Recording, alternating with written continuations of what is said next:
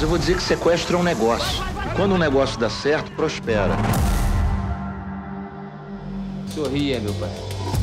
Aquela foto pra mamãe, vai.